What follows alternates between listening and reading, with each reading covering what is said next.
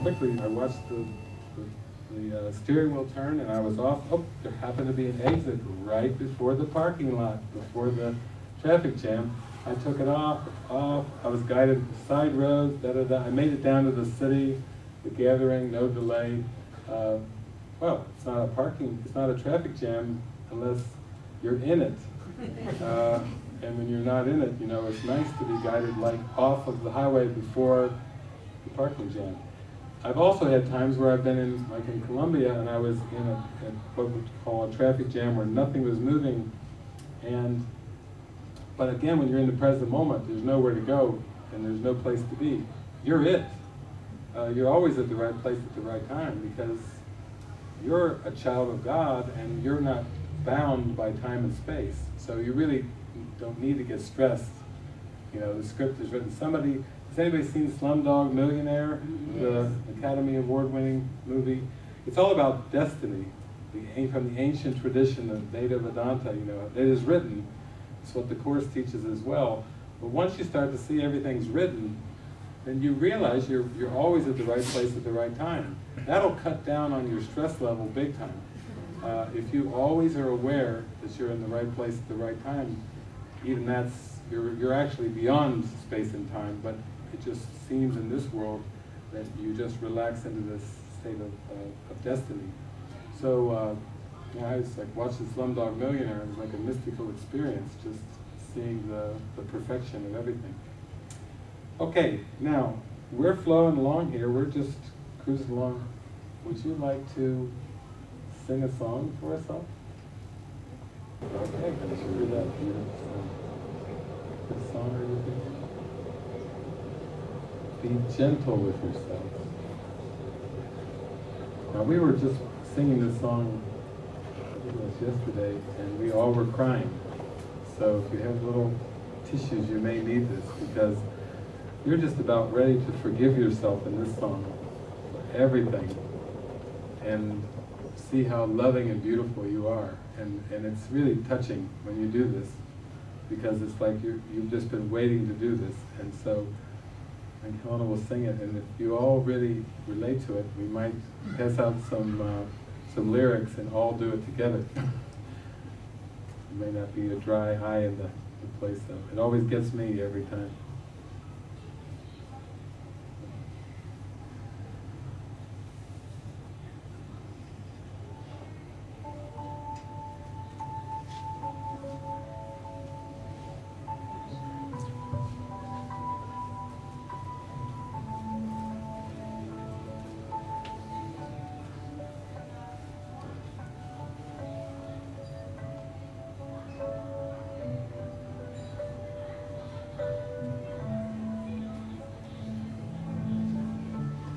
Be gentle with yourself. The jungle seems to roll. We've all been there Be gentle with yourself. Sometimes we get the breaks. Sometimes we make mistakes. Be gentle. Don't kick yourself around should you fall to the ground. Be gentle with yourself, just get back into stride. Touch the you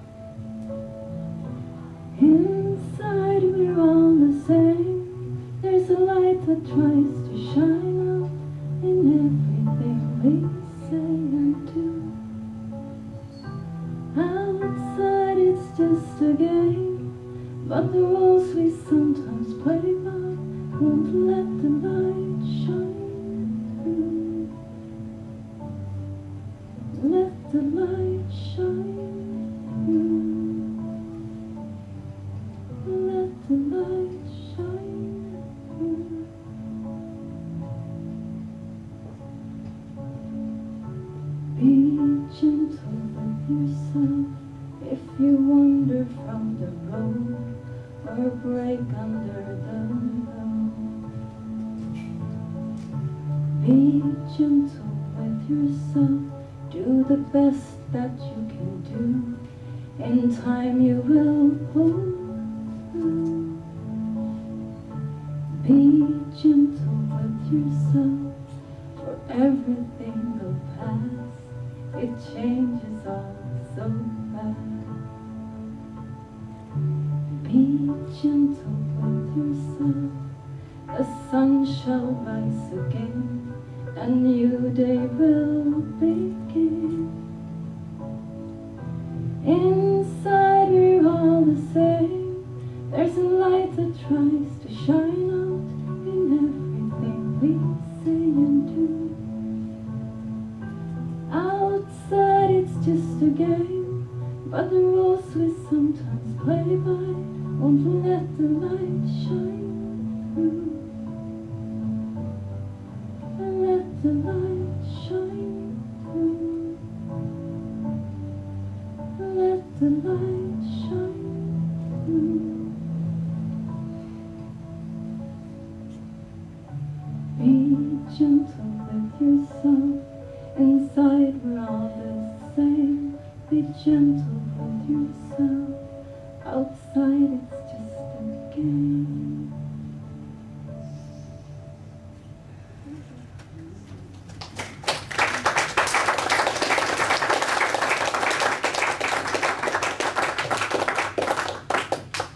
Yeah, maybe you could, you want to uh, queue up um, Shanti, and I'll pass out all of the flyers, and then we'll just have the mics, and then we can do it that way.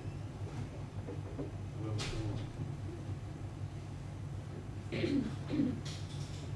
So that's the tune. Just think, you're, you're releasing yourself from anything that's been holding you back. Because how many of us get hard on ourselves, especially when you go on the spiritual journey and you, you beat yourself up for thinking what you should be or how far along you should be. And the Spirit is just loving you just as you are right now. There it is. So I will pass out.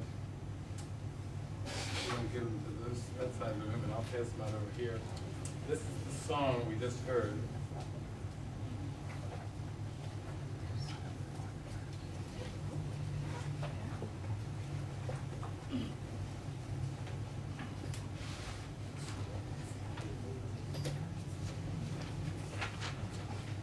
Inside, we're all the same because we all come from the same source.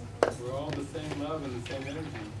And it's vibrating in us, but it has to pour through us. It has to be extended before we re- remember that it's who we are. And then this society, this world that seems to be so real with all these conflicts and problems, that's the game. When we get all caught up in the game, then we forget who we are on the inside. We just get distracted. And that's why this world was made, is like a big hall of mirrors, a big distracting device to try to, to keep us from knowing who we are. And then the more we get wise we get to this trick, it's like we're not gonna buy into the game.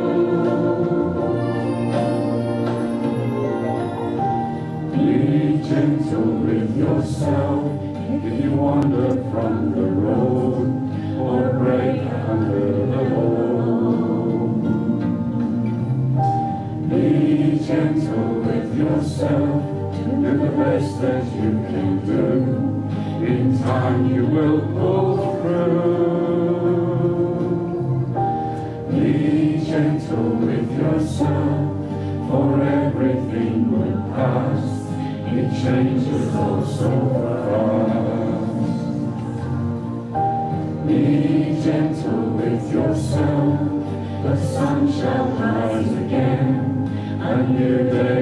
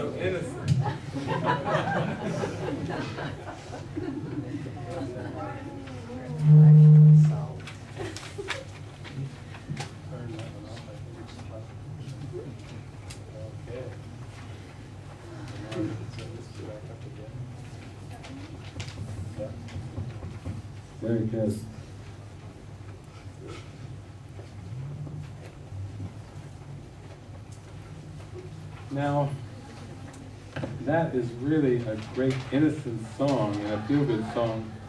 But what I want to talk a little bit about tonight too is that there's a lot of wisdom underneath this. There's a lot of wisdom. whether you come at from a scientific perspective or a spiritual perspective, from the, the Course, Advaita Vedanta, or one of thousands of different spiritual pathways, that everybody knows that love is the answer. Even the Beatles. all you need is love. You know, love is all you need. I mean, that was a beautiful song that everybody resonates with. And people who have who have come through this world, they'll say, well, what about things like sin? Uh, what about things like mistakes? Uh, aren't there some big mistakes? I mean, it's one thing to make small mistakes. Uh, and some people will say, well, you know, it's just, it's just a little teeny lie. It's just a little white lie. You really, it's not so bad. You shouldn't feel so bad. Maybe a little bad, but you shouldn't feel so bad. Maybe have a little guilt, but just, you shouldn't feel such intense pain and shame and suffering. And the reason you can be gentle with yourself is to the spirit, you really are innocent. To the spirit, you really have done nothing wrong, ever. Now, we have to kind of go a little bit deeper with this because it seems like human beings make a lot of mistakes. You know, in fact, there's some songs that are written, you know, you're only human, you were born to make mistakes. And we might say that human beings seem to make a lot of mistakes and a lot of errors. Trial, uh, temptations, errors, and then hopefully growing from those errors and mistakes. What about the question of evil? What about the question of sin? Well, it's kind of like this. It's like when you go to sleep at night and you dream dreams, you react and respond to those dreams as if they're real. That's why you feel uh, the same emotions when you're watching that. You might be able to close that door to the cafeteria so we can And, and when you're dreaming a dream, you know, and you feel your heart pounding or you feel afraid, uh, like if a monster is chasing you, uh, or if you seem to fall off a cliff and you feel your stomach with doing somersaults and you feel fear rising up and everything, it's because you're convinced in the reality of the dream. Uh, you know, if you were in a state of what we might call lucid dreaming, which is simply being in a state where you're aware that you're dreaming, it could get kind of funny.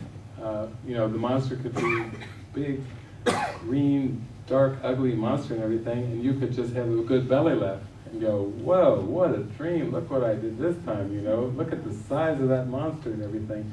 If you were aware that you were dreaming, but it seems like when you go to sleep at night, you're just not aware that you're dreaming. It's, it just seems real. It seems like it's really happening.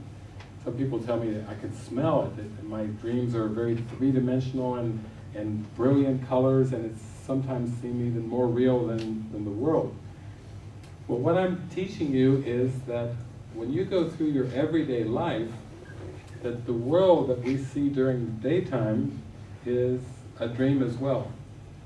And you're still reacting and responding to the images as if they're really happening.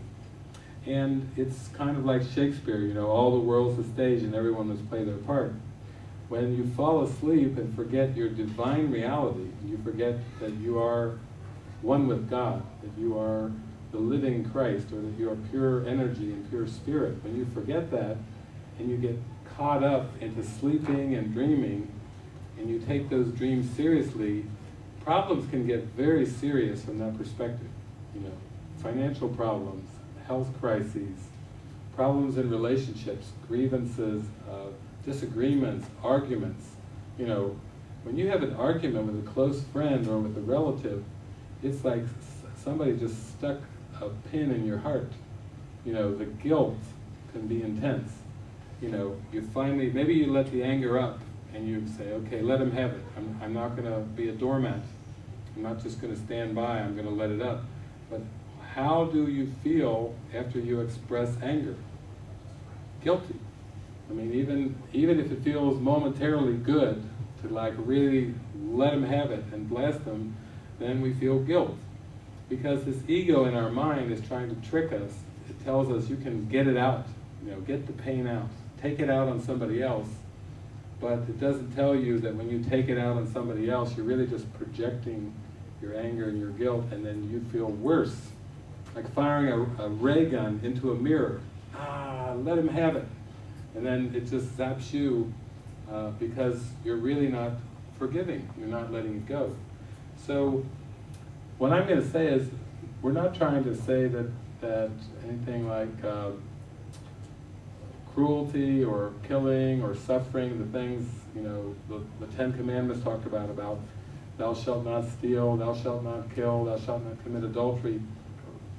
You, when you really start to look at things like ethics and morality, you start to see that no two people see the same world, and even when you talk about morality, what's moral for one person in a different culture, in a different society, doesn't go for the same thing.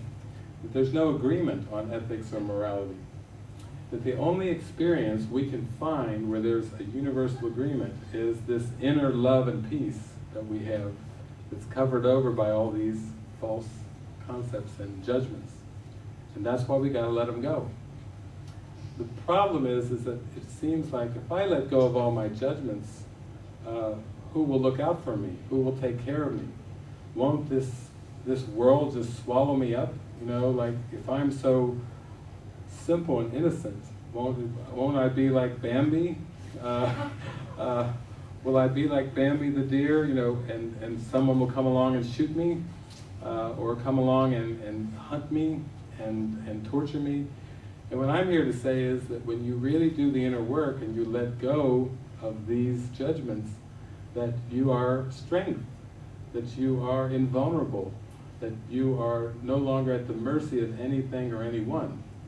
Uh, you still render unto Caesar that which is Caesar's. You know, when I come to uh, Australia on a trip like this, uh, they say, David, you've got to get an electronic visa. Okay. Uh, now I've got so many friends that, that they they say, don't worry about David, just go do what you do. I'll, I'll register for you online. And I said, do you, do you get some kind of number? No, once you're registered, you're registered. You just get in the country, pay whatever it is, $25 or whatever. You still have to seem to do things. You know, I still have a passport. Uh, I, when I first was told I would be traveling, I said, do you have to get one of those thingamajiggies? You know, do you really have to? And they said, yes, it's called a passport, David. It's got a name, passport. You get it for 10 years in the United States, and then you, know, you don't have to think about it. And then I, I did have to think about it, only because I got it stamped so many times that, that the people would tell me at the borders, you've got to get more pages uh, in your passport. So I did, just sent away and got more pages. So yes, uh, you, you still seem to use money, you know, you go places and people for tickets or for buying food or for doing whatever. It's just that, that you aren't identified with the doer. So I don't feel like I have to earn the money or spend it. It's just like a whoosh of feathers happening, uh, you know, like swirling feathers in the wind. Uh, it's not very straining at all. Uh, you know, they tell me currencies are collapsing. Well, I don't know. It just I, it doesn't matter to me. You know, the stock markets are crashing, and this is annuities and this and this. I mean, I, I read lesson uh, 135 in the Course in Miracles, and Jesus said, "A healed mind is relieved of the belief that it must plan." How cool!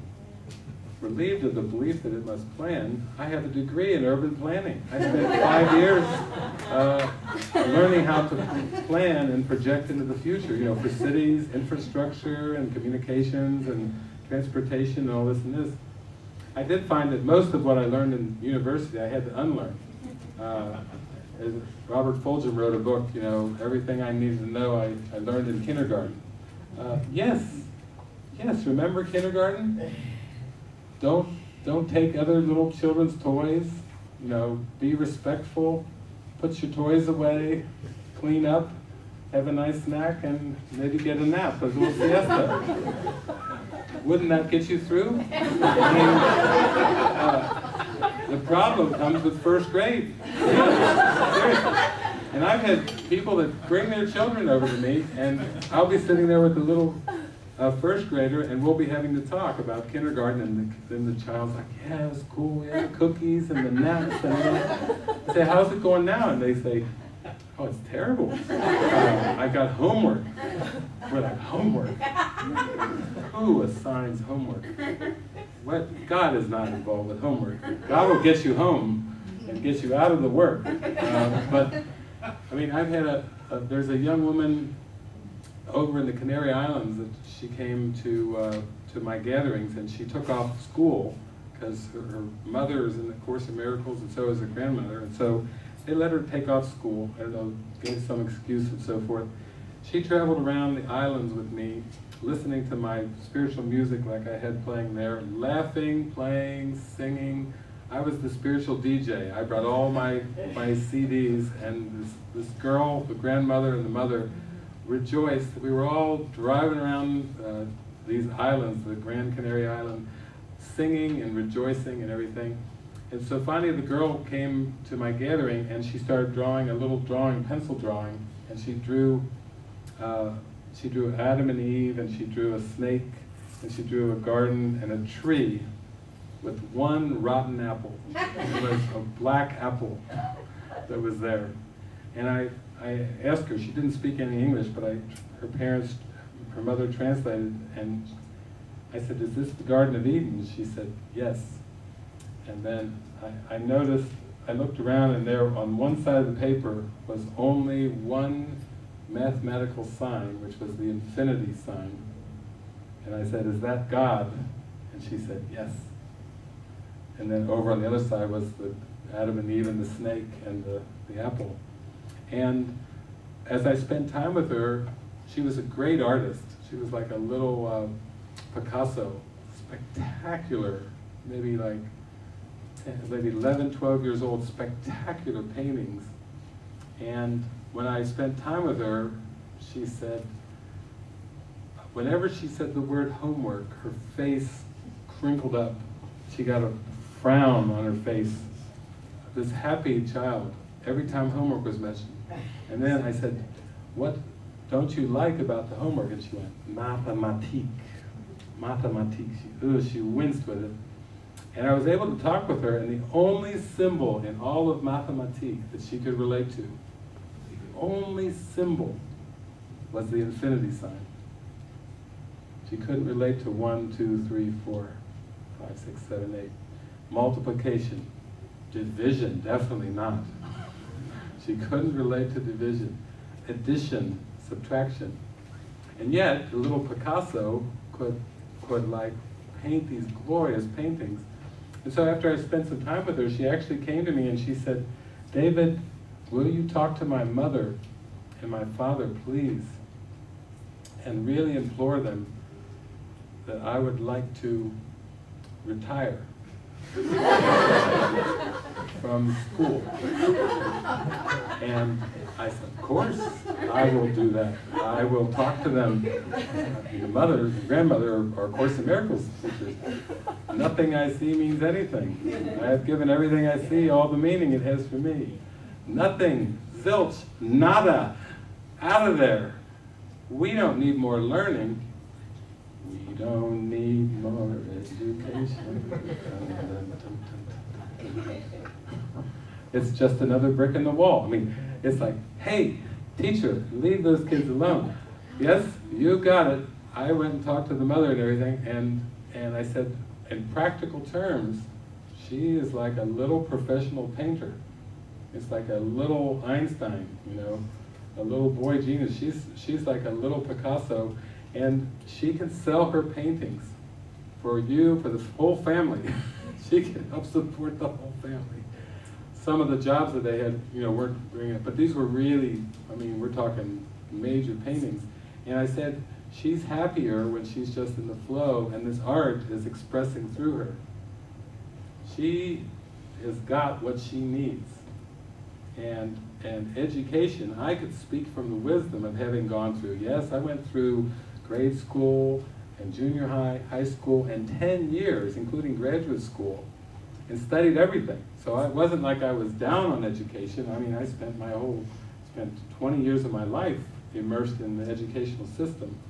So I don't have any kind of animosity towards it or anything, but, but I do see that the wisdom of the Spirit and giving my life over to the Spirit and becoming intuitive, that solved all my problems.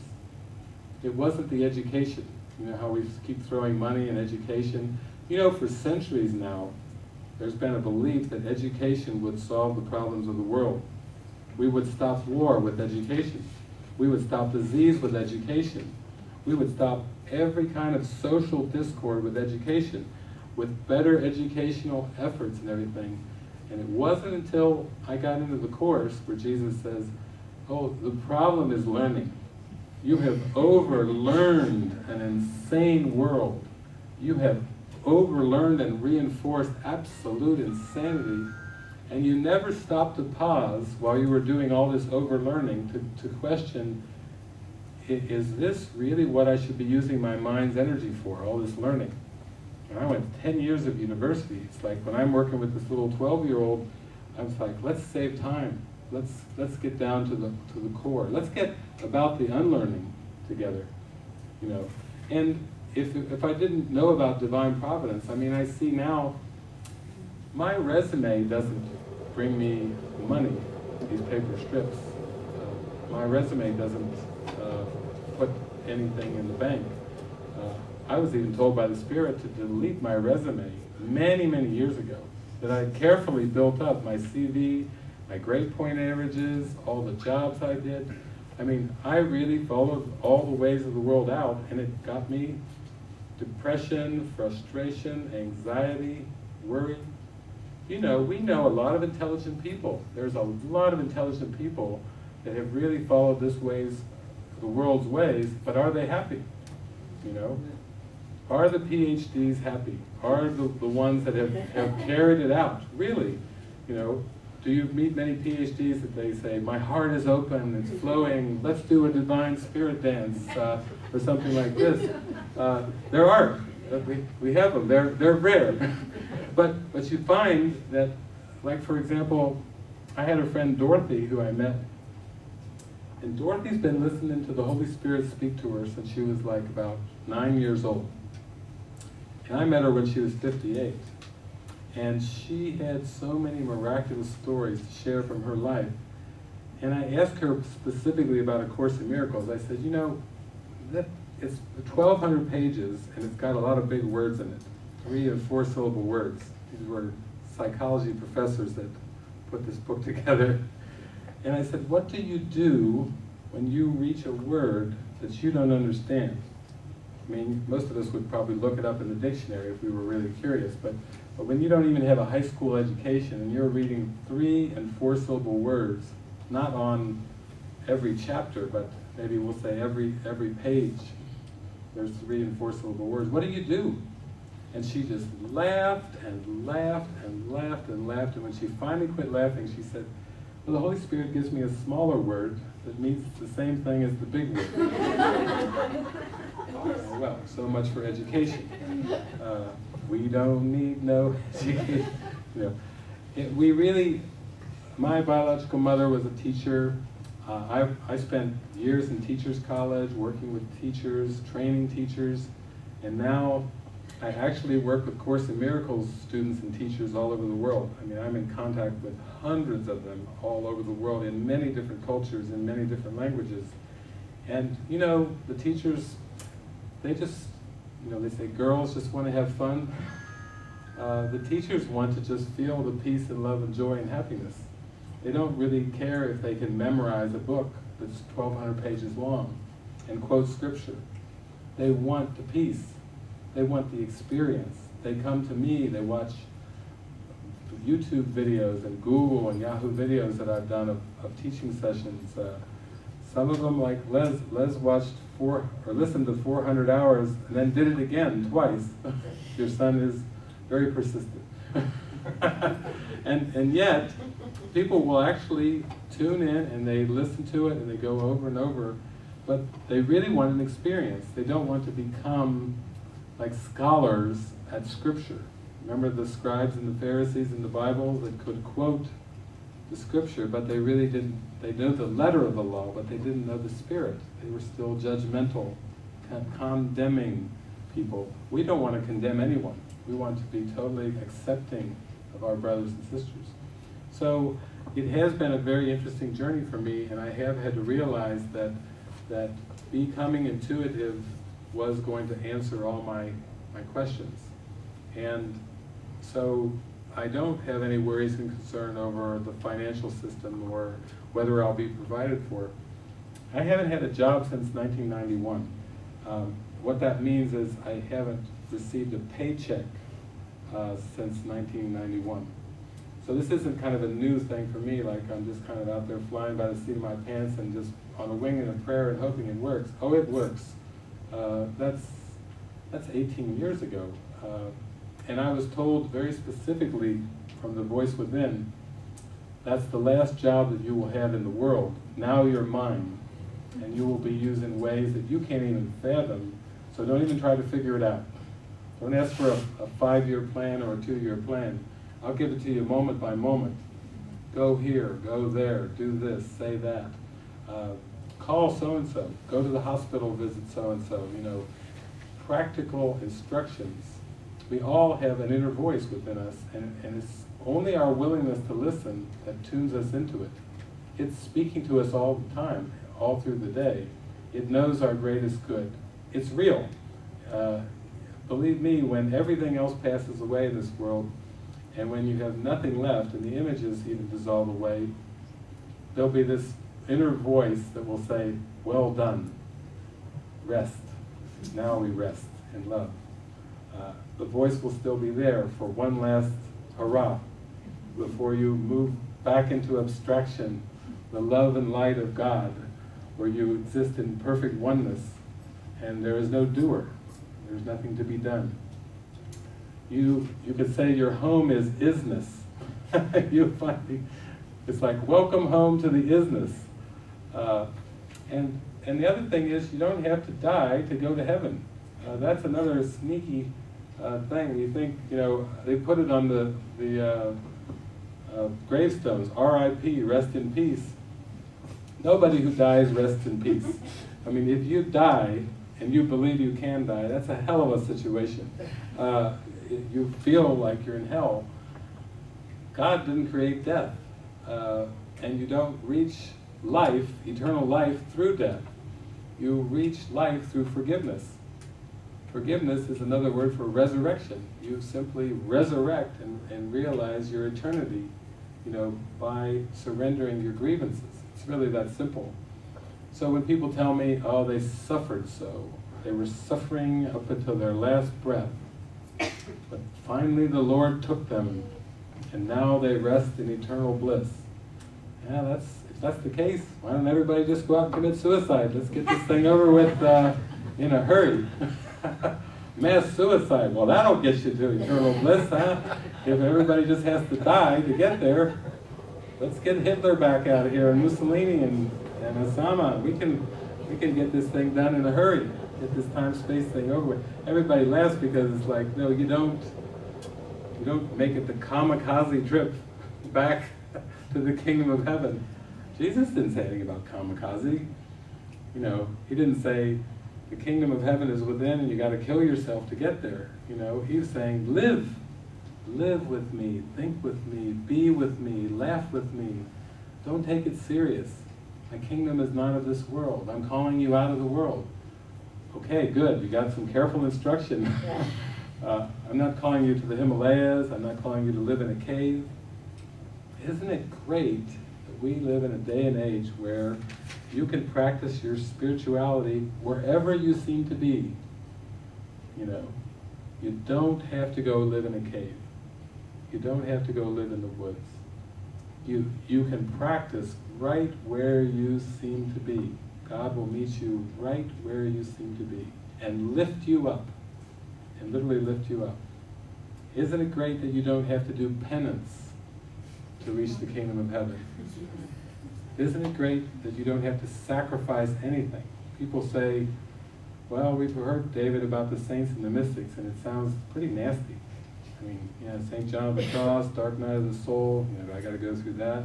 what have I got to give up? Oh, what have I got to give up? We have good talks about that. Les, Les and I, Les is like saying, is it possible to be happy without uh, making like a radical change in your lifestyle? What if you had a radical change in your thinking and your, your worldly life was pretty much the same, you know? You still got up and you brushed your teeth, you still had some, some loaves and fishes like Jesus did, you know? Still defecated, still took a piss, still did all the things that humans do and everything, but you were just so happy that you could hardly stand on the ground anymore. Uh, still used money. Money could be used, but, but for a way that blessed everyone. So, you know, it wasn't like, like you didn't have to associate money with greed. A lot of us know we have met people that are very wealthy, but they have such kind and generous hearts that the love just radiates from them. They're like the, the stewards, the, the, the great givers that, that let the money be used, you know, to, to bless everyone. And we've actually known people too that, that seem to be quite poor and they complain in their poverty. You know, why did all these people have more? The government owes me more money and this and this and this. When Jesus said it's easier for the camel to go through the eye of a needle than for a rich man to enter the kingdom of heaven, he was talking about greed. The greed is not going to get you to peace of mind. You're always trying to keep up, protect what you've got or get more. How can you rest in peace if you're so busy, uh, concerned about money and possessions? He was just saying, if you are peaceful and loving and joyful, you are in the kingdom of heaven. You don't even have to die or go anywhere. You are living the kingdom of heaven in that state of mind. But the form will just get used.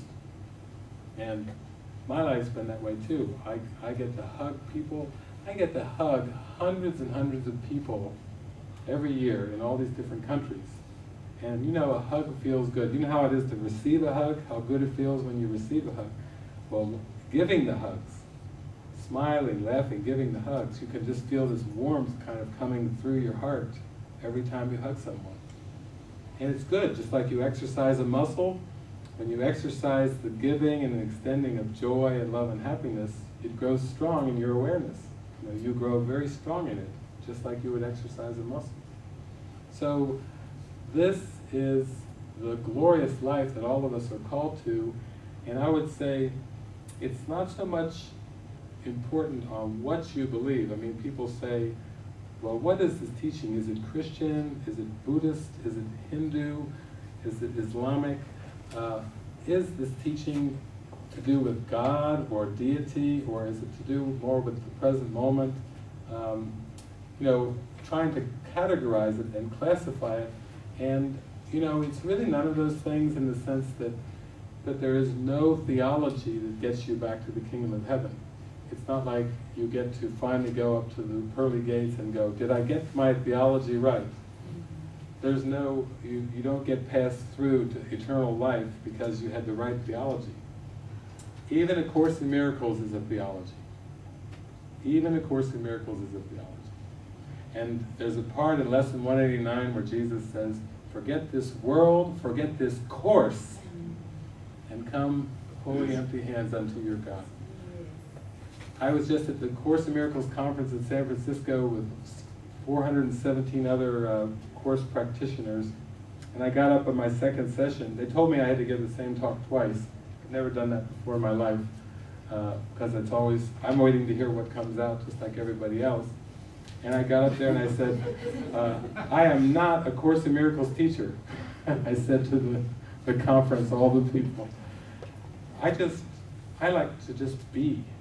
Uh, I'm not into defending, I'm really grateful for all those many years of working with the Course, and I've read it for eight hours a day, first two and a half years. But I started going to some conferences, and back in 1992, I went to a conference, and I was introduced as a walking Course in Miracles encyclopedia. There's just nothing that really gets your heart going than being introduced as an encyclopedia. You know, that really stirred my heart. It, it did stir my heart. I thought, that's it. I'm, I'm not going to be some like the scribes and the Pharisees and, and know how to quote this book. And literally, I know some of you have worked with the course. I memorized the course. I would go to course groups and, and somebody would start talking about a topic, and I'd say, oh yes, the justice of heaven, or I'd, I'd start off with the name of this section, and I would literally start verbatim quoting the paragraph, line by line, paragraph by paragraph, and at first they started to laugh, they were going, he's joking, and then they started to look it up, and they were like, oh my God, you think your son's obsessive, you want to hear a book that's 1,200 pages long, quoted verbatim, uh, and also, I've been told I have a good memory. so, but the thing was, once I got called a walking Course in Miracles encyclopedia, that was it. I'm not going to be an encyclopedia. I'm not going down in the history books as an encyclopedia. I'm going down in, as joy, as love, as happiness, you know, as being the living presence of, of love, not some kind of person that memorized a bunch of uh, scriptures or things. So that's really what my message is for everybody, is that, that we're meant to be the living presence of love, and, and I, I did get to a point where I could see that all of the belief systems of the world always conflicted. I actually got to a point where I saw that no two people see the same world, that this world is a trick. No wonder we have so much conflict. It's because no two human beings see the same world.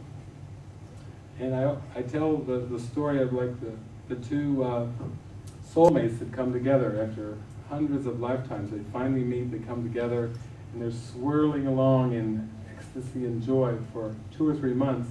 And one day they're in bed, and then they wake up and they start talking about some topic. And the one says to the other, You believe what? uh, because no two people see the same world. That as you go deeper in forgiveness, you realize that the personality, the person that you think you are, anybody know that you take it back to the Latin, person, persona, persona, mask. We have a holiday called Halloween. This whole world is Halloween. Every person is wearing a mask that's based on the past, that's based on the ego, and then we wonder, why do these people have trouble getting along? Why do these masks have trouble agreeing? Because underneath it, when you fall in love with somebody, you're really in for the greatest undoing of the mask that there could ever be. When you hang in there in a relationship and you start to trust and trust, you give yourself permission to lower the mask. And when you start to lower it, the ego inside you screams, be careful. Keep the defenses up. Don't be gullible. Don't be stupid. Don't trust too much. Don't let it down too far keep your guard up. You know what happened in the past. Remember that time when you lowered your guard? You got torpedoed from the side. You swore you'd never make that mistake again. You would never lower that mask that low again. You would keep your defenses up. And the ego is this voice in your mind that's saying, don't really join, even in a love relationship, you know. Have, have a good backup plan. Have other friends. Have, don't, don't tell all your secrets. You know, your secrets, the ego says, can be used against you for gossip, you know, to try to, to really sink you, you know, to really come at you and, and tear you down. And so we have to learn to trust our intuition and to actually go through with lowering the mask and realizing that when we are defenseless, we are safe when we maintain all of these ego defenses, we are actually trying to make ourselves safe through inappropriate means that will never make ourselves feel safe. We try it with money in the bank.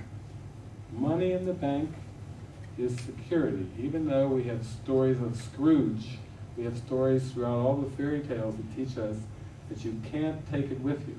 There's even a 1929 movie, if you ever see it, Jimmy Stewart, Lionel Barrymore, you can't take it with you. You want to see a, a 1929 black and white Course in Miracles movie that'll leave you crying when you see it, just go to the library and look up, you can't take it with you. That's the teachings of the Course in a movie. They did it back then in those black and white movies. it's not something a new phenomenon. But, but that movie was teaching that you have to let go of the fear, the greed, all those defenses, you have to join together in a higher purpose in order to find happiness and joy. Money, it really, it does a very poor job of protecting you. If, you think you'll find it through safety, many people during this seeming economic uh, crunch and, and where they lost annuities and stocks and bonds, retirement accounts and this and this, went through an egoic sense of torture because they invested their security in things like stocks and bonds and stock markets and so on, so forth, money, currency, so on, gold, precious metals.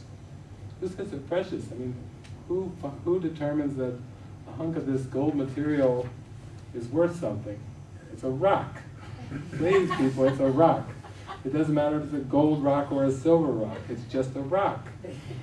Like that third rock from the sun, you know, it's like just, Earth is just a rock.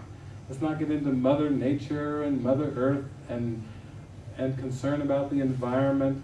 I mean, I had to actually go in my mind and see that the ozone layer and the hole in the ozone layer was in my consciousness. There was a big hole in my own consciousness that global warming was my own consciousness. That was the problem. Uh, I, the ego invented global warming. Uh, you can get into physics. You know, they, the physicists studied the cosmos and they found out that the cosmos, the physical cosmos is expanding. And it will continue to expand until it reaches a state of equilibrium and it will reach a state of stillness. And then it will start contracting. And just as the Big Bang exploded, the whole cosmos is going to contract in on itself. It's going to implode. You don't have to be around for that. It's an illusion, it's a dream. You don't have to wait around for quite a few millennium actually before that, will, that implosion will happen. Big crunch. Will people be concerned about gold and precious metals uh, when, when the gases and, and the, the rocks that were hurled out into the cosmos start to all kind of kind of implode, almost like a black hole, you know, su are sucked together and everything. It's going to take millennium, so you don't have to worry. It's not going to happen in your lifetime. But still, that's not a problem either. Uh, we could say that, that with the Industrial Revolution and with advertising and marketing, we've had an explosion of images. Anybody who watches music videos or watches cable TV, there's an explosion of images going on. And people say, is David, is the world getting better or worse? It's an illusion. It's like, how can you have an illusion that's getting better or worse? It's like, to use a multiplication, a, a, a mathematic thing, one times zero is zero. A hundred times zero is zero. A thousand times zero, a million times zero, a trillion times zero is zero. Strawberry fields forever. Nothing to get up about. Know, the Beatles. uh, you know, there really is nothing to get huff about. But all it takes is just a willingness to realize, do not attempt to adjust the dials on your set. They told us in the 1950s when television you know, was invented, do not adjust the dials on your set, the voice set. The problem is not in your set. The problem is not in your set. The problem is not in the world. It's not in the nuclear uh, proliferation. It's not in the ozone layer. It's not in global warming. Not in hunger. It's not in equal rights for men or women or children. It can't be found in making better traffic systems, making a better economic system. You cannot improve something that was made as a distracted device. It's like going to the carnival and thinking that you're going to go into the hall of mirrors and go and solve your problems in the hall of mirrors. You know those mirrors where everything's wavy and distorted and you look in, one mirror you're fat, you look like you're about 800 pounds. The next minute you're as skinny as a pencil. You watch your image in all the mirrors. That's what this world is. You know how many young girls there are in the world that, that think they have weight issues because they just read magazines like Glamour that, that you know, will spit up their food because they think they're putting on too many pounds. You know how many people get suicidal, you know, because they feel like like they've lost their fortunes. You know, there was a man recently, the billionaire in Germany that committed suicide after the economic collapse. You know, it's like the world is not the problem. It's what we think and believe about the world. It's those distorted perceptions. The teenage girl that's looking and thinking she's not looking as beautiful as uh, Britney Spears or that she's got too much weight. You know, it's interesting when you listen to talk shows and you hear sometimes women talking about how fat they are, and you keep looking at them and going, "That's fat." You know, oh, got too many pounds on there. I can pinch right here. You know, it's like that's fat. You know, I mean, we have to look at how distorted the perceptions can be. And for all of us, we can start to say, isn't it great to just get the first hint of the idea that the problem is not in your set? Do not adjust the dial. You may think you can vote in better politicians. They've been trying that for years. Uh, and it's not to say that there aren't symbols of hope. As I go around the world, you know, I've had a lot of people that are very hopeful and optimistic about the new American president and very excited and there's a stir of, of joy that's happening and everything. But if you listen to, to the political conventions when the politicians are elected, if you just listen to the thoughts that are shared in the political conventions, you can hear some really good stuff. You know, it sounds, uh, uh, we were just talking about that today, um, something that Obama was saying is that, what was it, you can't you can't see yourself in the other person, then where are we going as a nation? Yeah, if you can't see yourself in the other person, then where are we going as Tina was jumping up and down, calling Les, going, Liz. the, the, the man who's running for president of the United States or, or is, is speaking from the spirit. You know, it's amazing to see. And yet, if you listen to the political conventions, you hear words like self-sacrifice, we must sacrifice for future generations.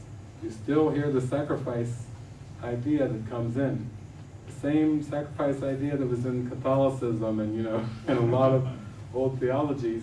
You listen closely at the political conventions, you can still hear remnants of this old theology. It's still, the ego is still trying to hang on. But you can bring an end to the ego fact, would you like to sing Little Ego? Who's afraid of the big bad wolf? Everybody gets ego, is afraid and trembling of the ego, of, of the devil, of Satan. But we have a song, we have a message about the ego to share here.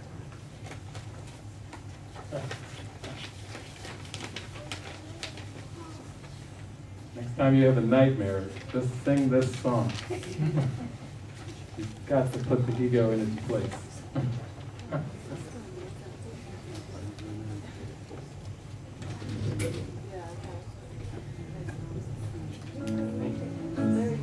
Come on.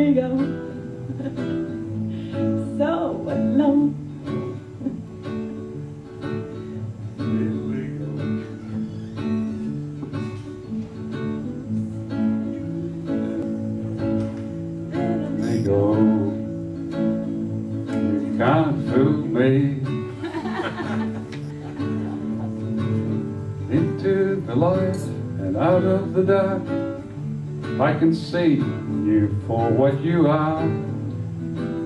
Little ego, only a dream. Let go. You have no power over me.